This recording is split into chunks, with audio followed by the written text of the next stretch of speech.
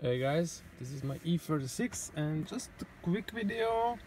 I got some of the new parts and this is a relay. And what it does, I hope this, is the windshield washer. Now this goes uh, under the dash. This uh, tray is like here next to the steering wheel.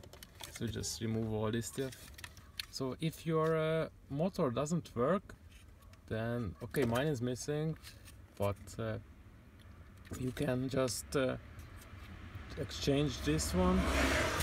It's like a green.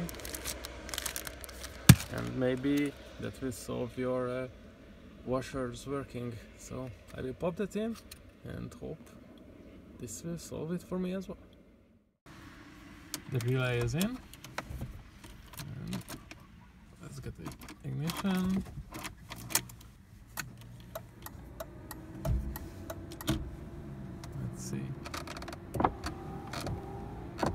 nothing. No. Fuck.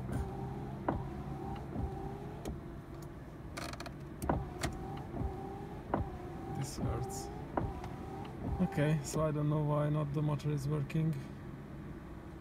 Well, why not the motor is working? If I short the pins on that relay, then the motor starts up.